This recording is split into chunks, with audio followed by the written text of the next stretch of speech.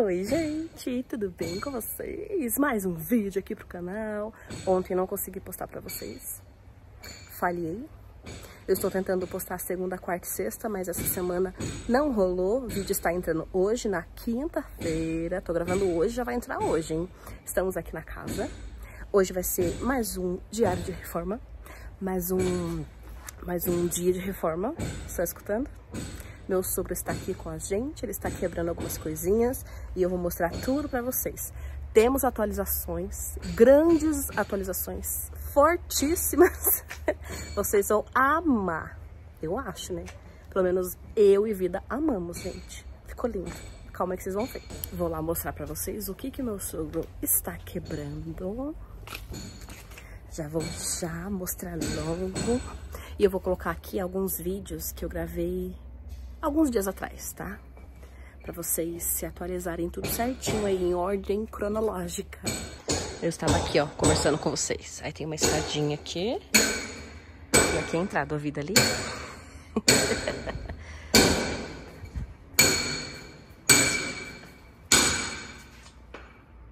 Oi? Oi, tudo bem? Vamos ver aqui.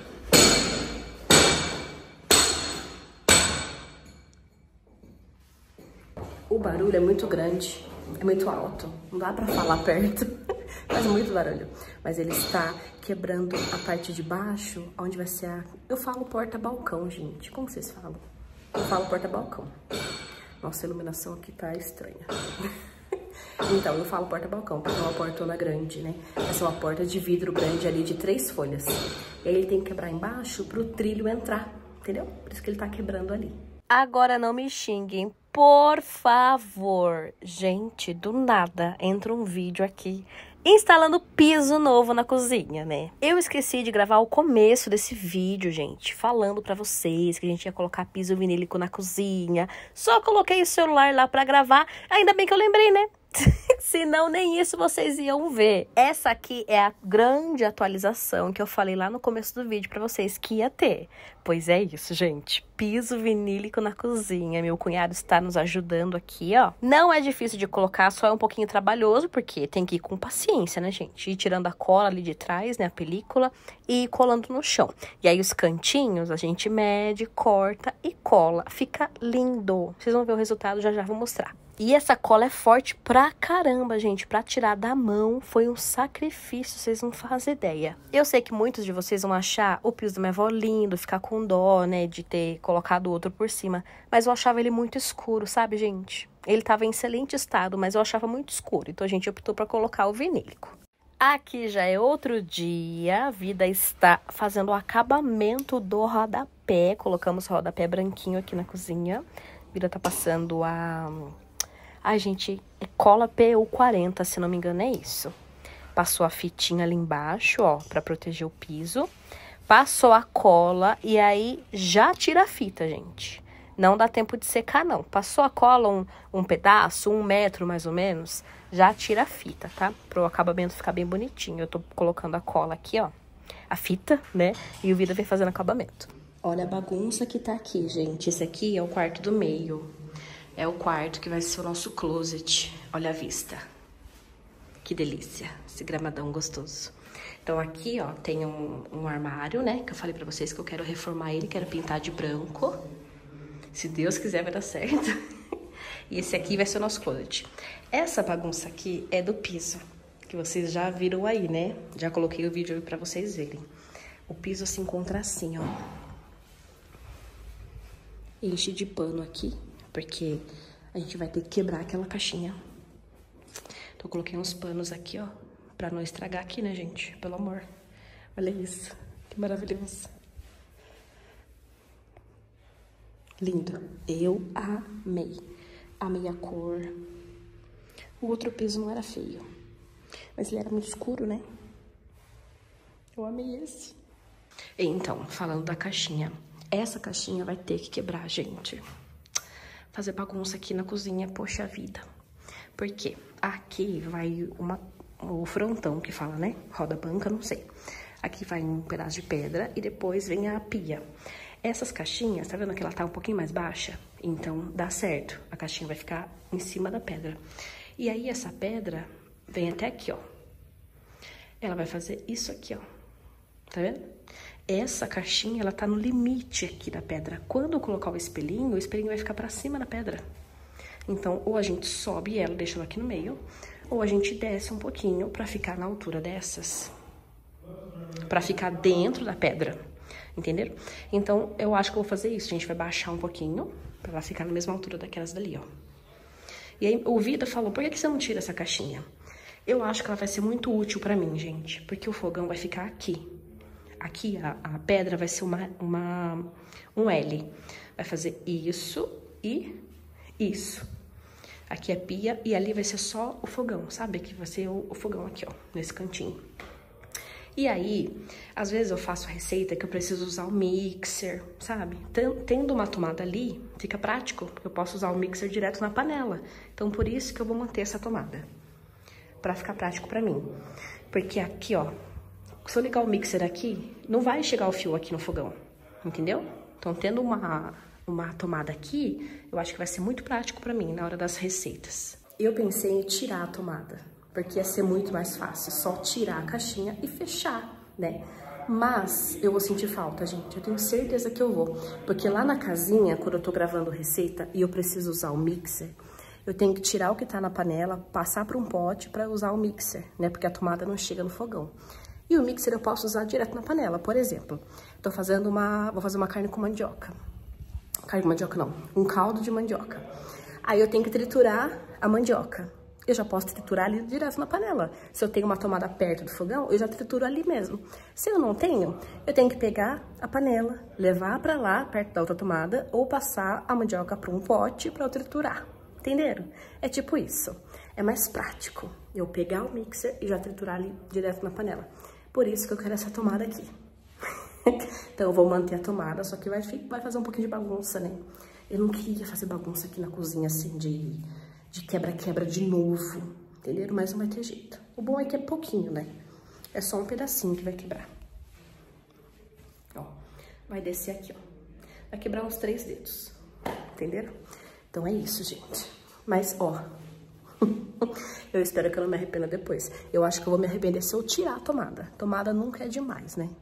Eu acho que eu vou me arrepender se eu tirar. Melhor deixar, né? O que vocês fariam no meu lugar? Vocês deixariam quebrava um pouquinho embaixo para manter ela ali, ou tirava de vez. Agora eu vou calçar meu tênis aqui. Vamos ir para lá. Ver estava varrendo o, o entulho, ó. Ficou uma sujeirinha aqui. E tá assim, gente. Teve, tá vendo que teve que afundar, ó? Pra colocar o trilho, né? Que a porta vai correr aqui assim. Vai ser uma porta de três folhas. Então ela vai correr pra lá e pra cá. Aí precisava afundar para colocar o trilho, senão ia ficar um degrau. É horrível, né? É bom quando é no mesmo, na mesma altura. Quando tem um degrau para limpar, gente, é horrível. Então aqui vai ficar no, no, mesmo lugar, assim. Você vai pisar em cima do trilho, entendeu? Não vai ficar para cima do piso. Bem melhor, né? Agora eu acho que o meu sogro vai quebrar aqui, ó.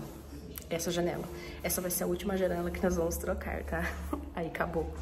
Essa janela da sala é, o tamanho dela é ótimo, eu adoro o tamanho, mas eu não gosto das grades. E ela só abre aqui, só abre aqui, ó. Só abre em cima. Não abre embaixo, só abre assim, ó. Então a gente vai trocar. Vamos colocar uma janela igual a da cozinha. Igual essa aqui, ó. Igual essa. Que abre as duas folhas e fica um vão no meio, né? Então daqui a pouco vai ser isso que vamos fazer. Vou explicar para vocês sobre esse piso. Eu sei que vai surgir dúvidas de vocês aí, gente. Então, ó, vamos lá. Este piso é o piso vinílico. Ele é uma... Eu não sei que material que é, gente. Mas ele é bem fininho, ó. Tá vendo? Ele deve ter o quê? Uns 2 milímetros, mais ou menos. E ele é maleável, ó. Ele é molinho. E essa aqui é a cor amêndoa. Veio lá da GF Casa Decor, tá? É um site que entrega para todo o Brasil. Esse piso já vem com a cola. É até estranho falar piso, né? Mas é piso, gente, piso vinílico. autocolante. Ele já vem com a cola, estão vendo, ó? Você tira esse papelzinho e cola no chão. Ele pode ser aplicado em qualquer superfície, desde que esteja nivelado, tá? Por exemplo, você fez o contrapiso da sua casa, você pode colocar ele. Você não vai pôr direto no contrapiso, porque ele fica cheio de areinha, não vai colar, né? Mas você passa um produto lá, para nivelar, deixar certinho, e cola o piso vinílico. Aqui, nós colamos em cima do piso de cerâmica que tinha aqui, né? O piso antigo. o mais certo, acredito eu, que seria é, como que é o nome, gente? O rejunte do piso, sabe? Onde era o rejunte? Nivelar ali, passar uma massinha para ficar tudo reto, tudo liso. E daí sim colar o piso vinílico. Eu não quis fazer isso, porque se eu passasse massa no rejunte e aí massa em cima do piso, e aí estragar o piso da minha avó, né?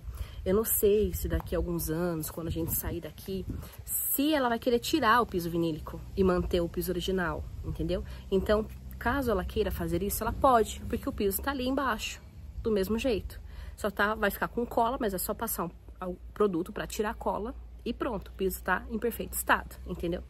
Então, o mais certo para ele ficar todo lisinho seria preencher o rejunte com massa, né, para ficar tudo reto.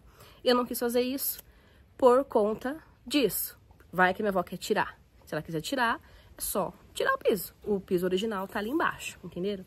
Então, eu coloquei colado em cima do piso. A gente limpou e foi colando, tá? Ele cola, gente. A cola é bem forte, bem forte mesmo.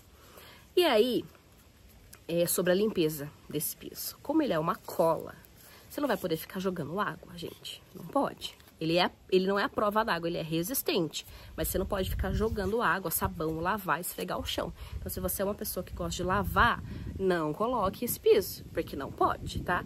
A limpeza recomendada é pano úmido e desinfetante, tá bom? Eu sei que isso aí vai ser a maior dúvida de vocês, né? Não pode ficar lavando, gente. Ah, mas cozinha tem que lavar, fica, engordura, fica engordurado. Veremos como, como que vai ser, né? Eu vou contando pra vocês, vamos ver como que vai ser a minha experiência aqui. Tem que estar tá sempre limpinho, né?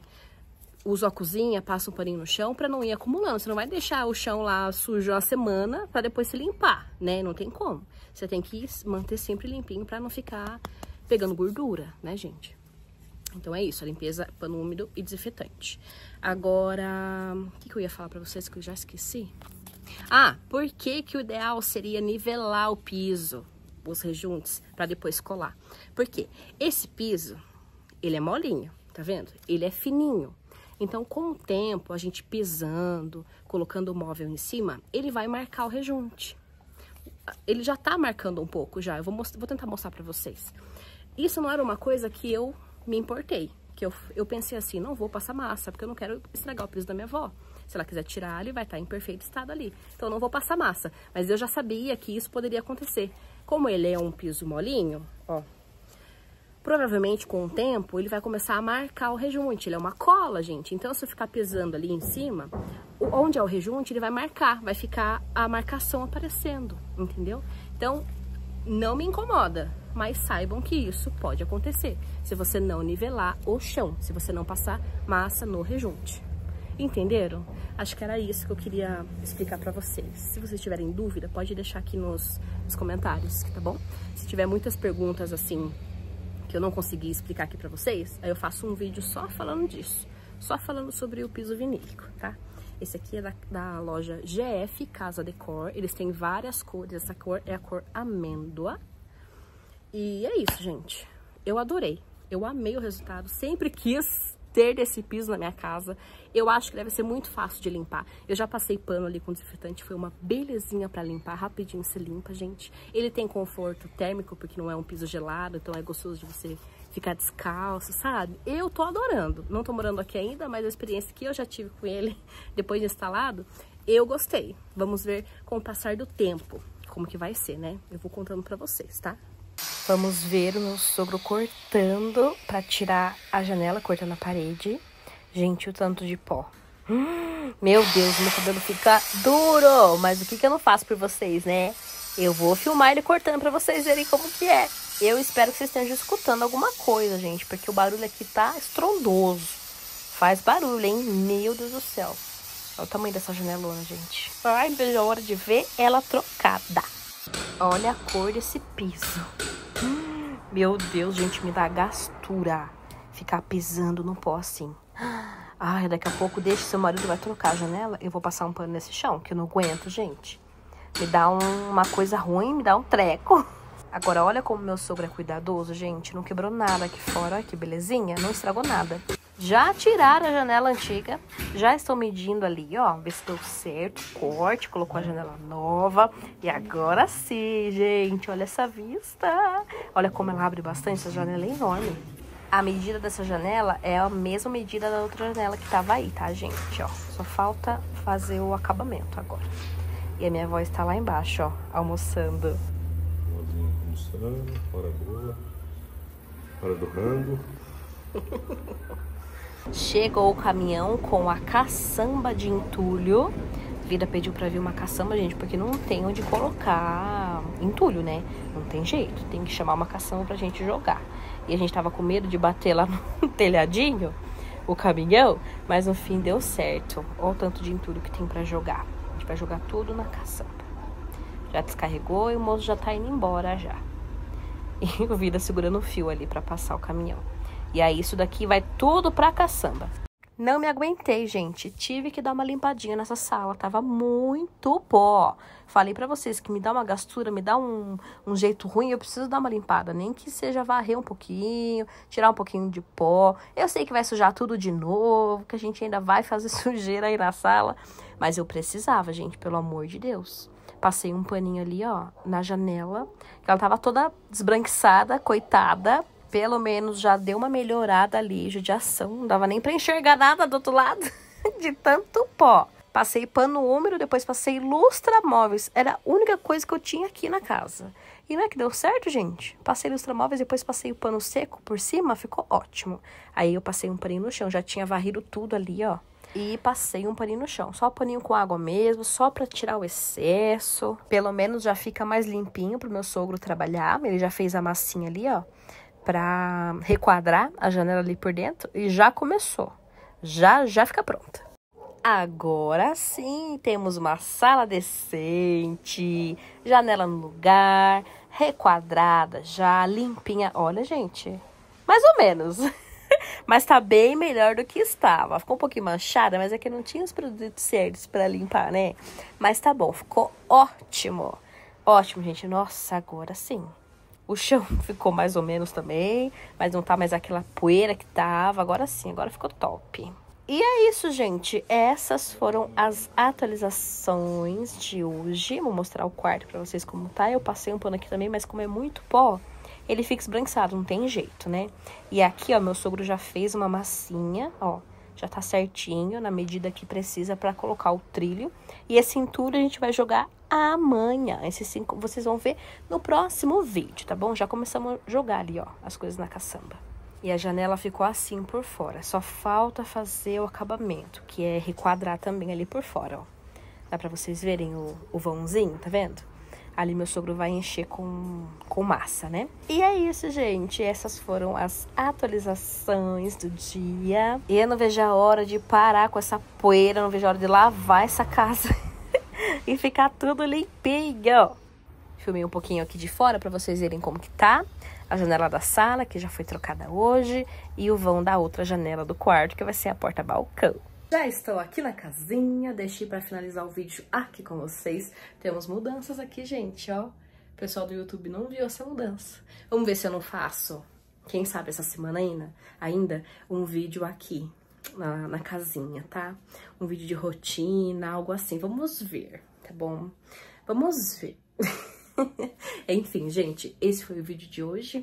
Eu espero muito que vocês tenham gostado de acompanhar aí o nosso diário de reforma. Mais um dia. Amanhã meu sogro tá lá de novo. Vou filmar o que, que vai ser feito. E no próximo vídeo eu mostro pra vocês, tá bom, gente? Um beijo e até o próximo vídeo. Tchau!